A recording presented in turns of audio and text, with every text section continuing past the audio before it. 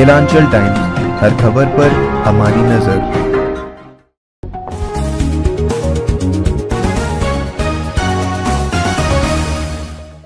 नमस्कार, केलांचल टाइम्स में आपका स्वागत है। आपके साथ मैं हूँ नैनी मिश्रा। बिहार में पंचायत चुनाव को लेकर कई पदों पर चुनाव हो रहे हैं। लोग अपने मतदान के अधिकार का प्रयोग कर रहे हैं। ऐसे में हमारी टीम पहुँची हुई थी कहलगांव उत्तरी क्षेत्र संख्या 22 जहाँ के जिला परिषद सदस्य पद के लिए विभा देवी चुनाव लड़ रही हैं और वो इस चुनाव को लेकर के क्या कुछ सोच रही हैं? वो एक महिला है और महिलाओं के हक में कितना काम करेंगी? ऐसे तमाम सवालात हमारे टीम ने वहाँ पर पहुंचकर उनसे किए। उन्होंने क्या कुछ कहा है? आइए देखिए इस रिपोर्ट में। आप देख रहे केलांचल टाइम्स और मैं हूँ नंदन झा। बिहार में गाँव की सरकार चुनने का समय है और आठ चरण का चुनाव संपन्न एवं मतगणना पूरी हो चुकी है। आज नौवें चरण का चुनाव हो रहा है और जनता ने स्पष्ट रूप से इस बार कह दिया है काम करने वाले को चुनेंगे। जो काम किया है, उन्हीं को चुनेंगे। खाने वाले को बिल्कुल नकार दिया खाने वाले को भी चुनेंगे, लेकिन उचित और सही से खाए, लूटने वाले को नहीं चुनेंगे। आज हम लोग चुनावी यात्रा में भागलपुर जिला के कहलगांव प्रखंड के एक उत्तरी क्षेत्र संख्या 22 के जिला परिषद के भावी उम्मीदवार विभा देवी के पास हैं। इनसे जानेंगे चुनाव लड़ने का क्या उद्देश्य है। चुनाव लड़ने का क्या उद्देश्य चुनाव लड़ने का मेरा उद्देश्य है समाज सेवा करना। हमारे ससुर जी भी 25 साल सरपंच रहे और उसके बाद जब 2006 का सरपंच का जब चुनाव हुआ तो हम सरपंच में चुनाव लड़े।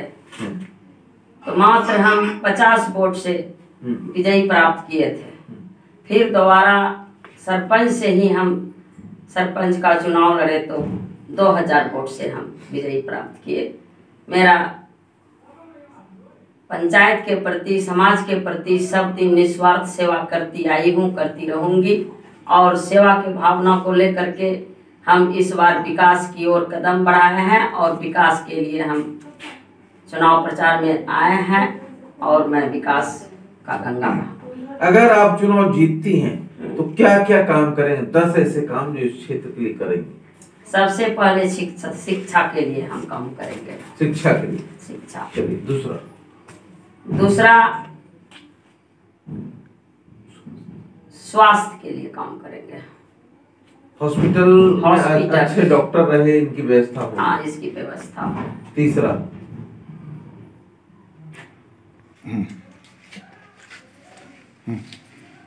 हमारे क्षेत्र में जो भी अधूरा काम कार्य रुका हुआ है वो हम पूरा करेंगे।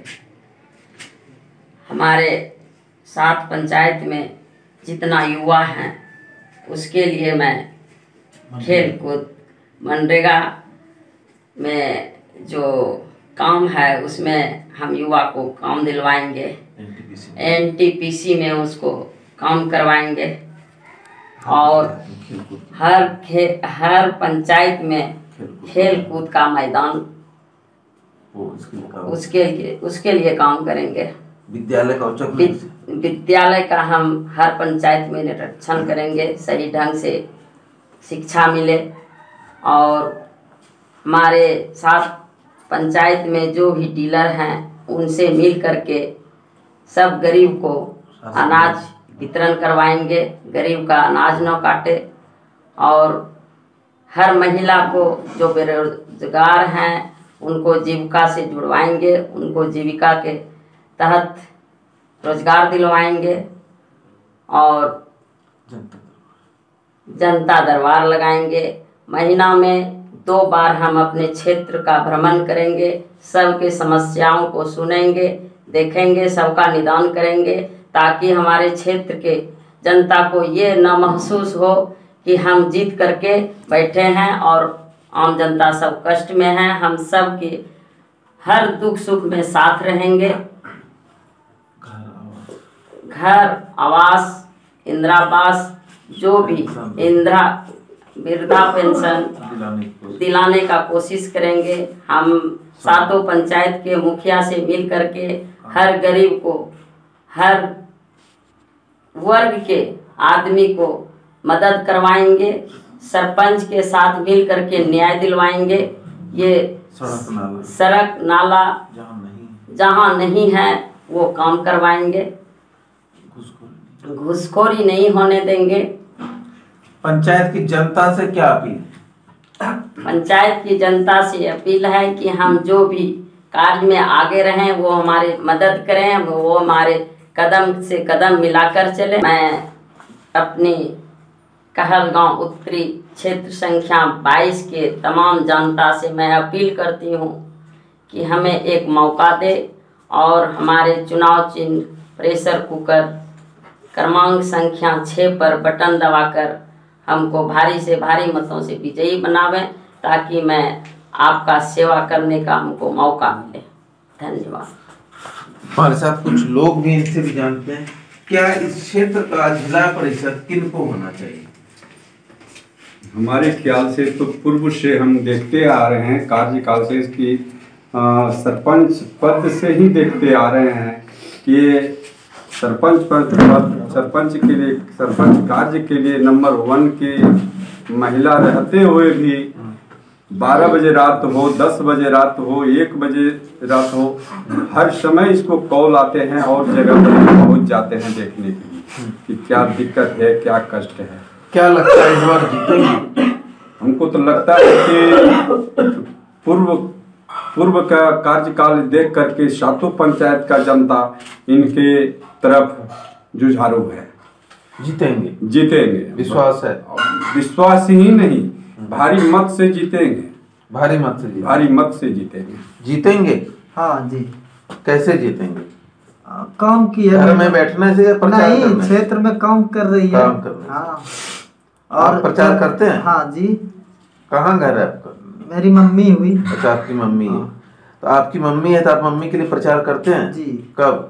आप दिन तो मम्मी के साथ निकलने का कोशिश कर रहे हैं प्रचार कहाँ कर रहे हैं? हाँ तो हम पंचायत में घूम रहे हैं हर जगह। और पंचायत की जनता हमारे हम लोगों के साथ है। दस साल हम लोग यहाँ पर मम्मी हम सब मिल करके यहाँ पे जनता का काम किए हैं।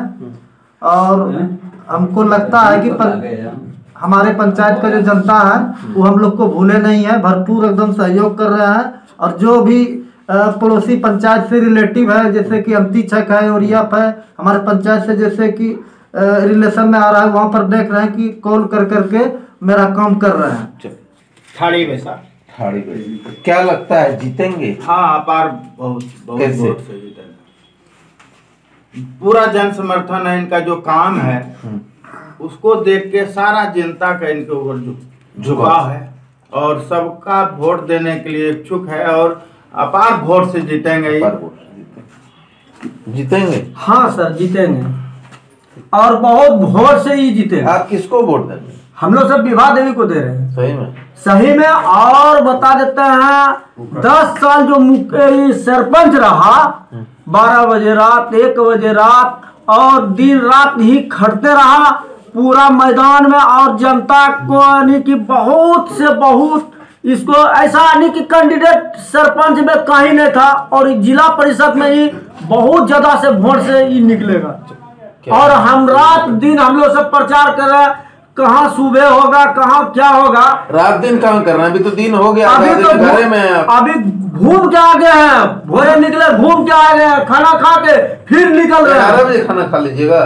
क्या करेंगे? टाइम जब मिलेगा तभी तो। जीतेंगे ना। हाँ जीतेंगे एकदम। क्या लगता है जीत होगी एकदम बहुत ज़्यादा बहुमत से हम निकलेंगे। जीत ही नहीं ऐतिहासिक जीत होगी अरे ठीक हो भैया ऐसे वीडियो देखे जा रहे हो? चैनल का सब्सक्राइब कर लो। और हाँ घंटा का बटन ज़रूर दबाना। तब हमारे वीडियो का नोटिफिकेशन सबसे पहले मिलेगा। यहाँ वहाँ का देखा तो? हम तो का ही कहते हैं। जल्दी दबाओ।